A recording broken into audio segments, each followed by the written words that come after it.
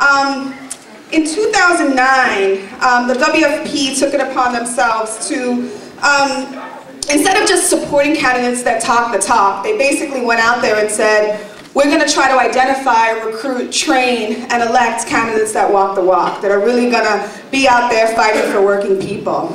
Um, and this was the New York City Council races um, in 2009. Um, and in coalition with unions um, that are sitting right here, um, such as BJ 1199, UAW, CWA, um, all these different unions that came out in support, we uh, were able to elect a group of progressive caucus members, a group of members that really were just progressive, and that's what the media kind of named them. They came into the council um, with the mission that they were going to be representing working people.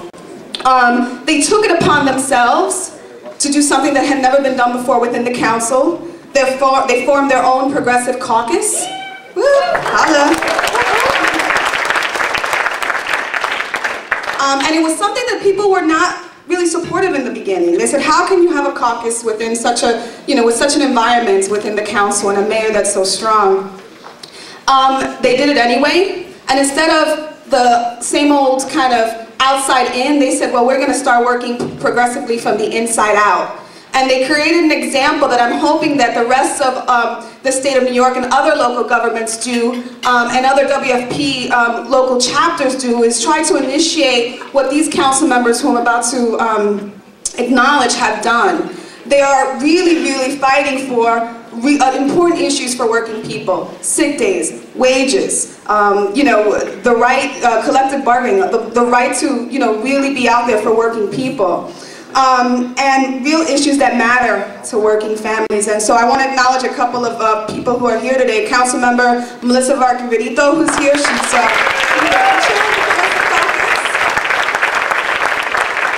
Councilwoman Julissa Ferreras. Councilmember Jimmy Van Bramer.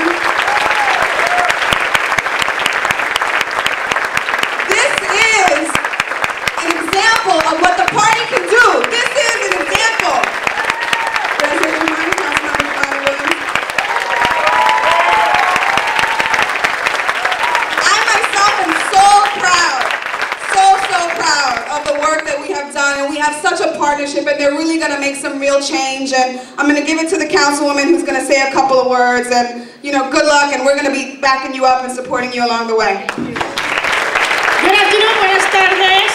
We don't have much time so we're just going to jump right into it and I really want to thank Bob for laying the groundwork about the importance of why we have formed a Progressive Caucus and the importance of the partnerships that we need to form with the progressive community at large, but really working actively create that progressive movement. Because it is only through that partnership that we're going to really be able to move this agenda. Now when people talk about a progressive agenda, right, it's being made to seem like it's a radical, left-wing agenda, but let's be clear. A progressive agenda is an agenda of justice, it is an agenda of equality. It's an agenda about everyone having to pay their fair share in making this society run. So that is what it is about, and that is what we stand for in the Progressive Caucus, and really fighting for an agenda of equality, of showing and using the examples of what is happening nationally to inform the work that we're doing locally, to really say that we need a fair budget, both at the state level and at the city level. And that is the, that the task that we have before us. We are 12 strong out of 51 members in the city council, and that is the message that we put out there each and every day, now going into two budget cycles. And the last thing I'll say in terms of the challenge to each and every one of us in this room, when we look at New York State, and we're all here from New York State, and I want to thank you for all being here and for being committed to this work. New York State has the distinction of being the state with the greatest income disparity in this country. So the challenge to each and every one of us in this room is what are we going to do about that? So we are now progressive members in a legislative body, but we need to partner up with all of you. You need to be the groundswell that gives us the strength to continue to stand strong on the issues that are important to each and every one of us. So thank you very much. Very much. My name is uh, Jimmy Van Bramer, and I am a uh, city council member from Queens. Are there folks from Queens County here? That's great. Uh, I just want to say um, a lot of people didn't think it was possible to elect openly gay, progressive people to the New York City Council from Queens County.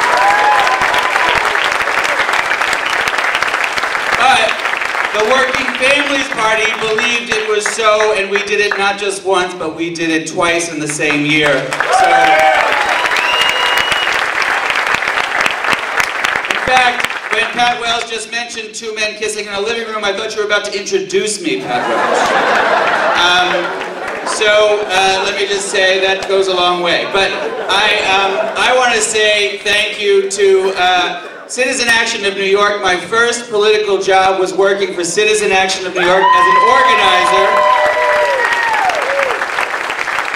On behalf of campaign finance reform and a great 1998 campaign called Clean Money, Clean Elections, which really helped uh, ease the way for folks like us to get elected. Uh, and I want to thank Camille Rivera, BJ, and uh, the Hotel Trades Council, and all the folks who believed in me uh, and made this possible. And I see a lot of folks out here who I hope will join us in the Progressive Caucus in 2014. Because this is good, but it's not nearly as pretty on the inside as you think it is. Uh, and, and it'll only get better if more of you are joining us in 2014, and, and that's really what I want to um, uh, say is there's an inside strategy and there's an outside strategy. You all are the outside strategy, making us stronger on the inside, pushing us to do more uh, uh, for all the values that we share in common. But all of you, maybe not all of you, but I hope a lot of you, want to run for office, are running for office, are going to run campaigns, are going to believe that we can do more and elect more progressive candidates like the four of us who are here today. And the Working Families Party really makes all of this possible.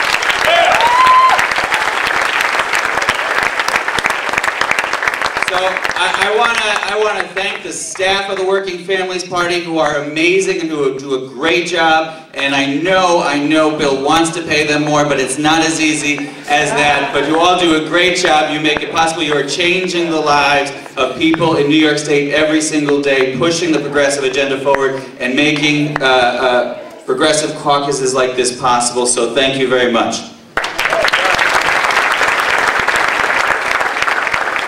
Good afternoon, Councilmember Julissa Ferreras, the first Latina ever elected in the Borough of Queens. And that, I must say, would have never, ever, ever been possible without the Working Families Party. I was elected in a special election. It was cold, February 24th, and the Working Families Party told me, Julissa, you have to go do trains at 6 in the morning, and we know it's 4 degrees. And you know what? It all made sense because the Working Families Party brings the grassroots perspective that no other candidate had. I was the only one on those trains. But you know what? It made the difference. And whenever I looked at Bill Lipton's face or Emma Wolfe or Ted Furtick, I knew that I was doing the right thing. I knew that I was doing the right thing for my people. Because at the end of the day, the progressive caucus that we talk about it, it really is the rights of our people. When my father had the opportunity to become a TWU member and my mother a DC 37 member, those were the progressive movements. movements. They became members because of what the union stood for. And I today stand here as an elected official because they knew that they would always have a job. They knew that they would have paid sick days. They knew that they had the opportunity to move up as opposed to having to work perhaps in retail and never moving up. So when the Working Families Party or when many of the groups that are represented here today come and say, Julissa, we have to stand up against Walmart because they are not giving the opportunities to the families that your parents were afforded. This is an easy thing for us. There is nothing to consider other than standing up against the Walmarts of the world. So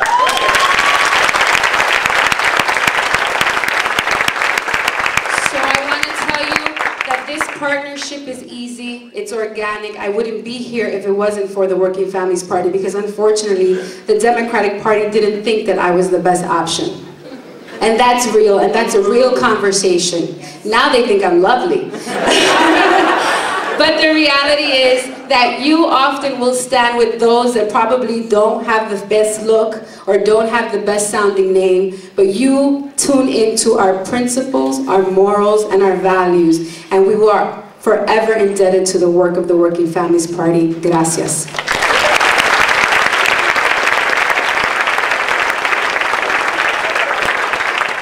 What's up, progressives? How you doing?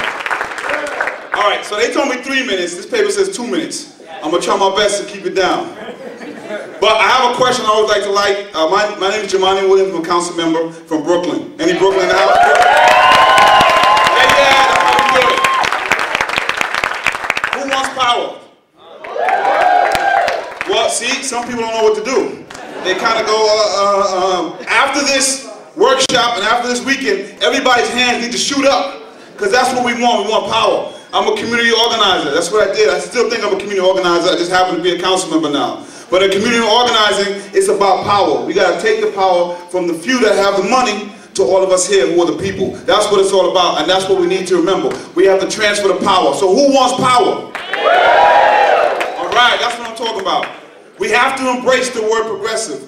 We can't be afraid of the word rebel or revolutionary. Because the people that America allows us to celebrate, like Martin Luther King, was called everything but a child of God when he was here. He was a rebel, he was a revolutionary, and he got things done. They don't like dissent. That's what it is. Doesn't matter who's dissenting. But we have to embrace the dissension. We have to embrace the revolutionary. Because although we're on the left, we are right. We are correct on this issue. They are wrong. They are 100% wrong. We have to take the message back.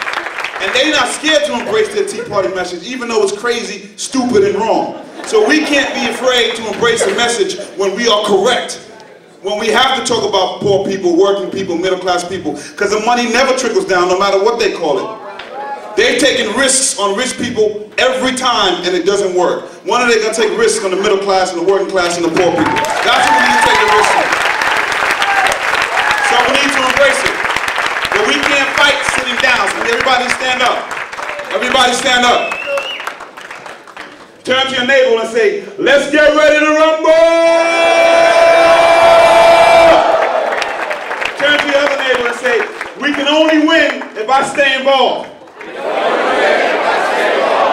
That's what's up. Thank you. Remember this weekend is it.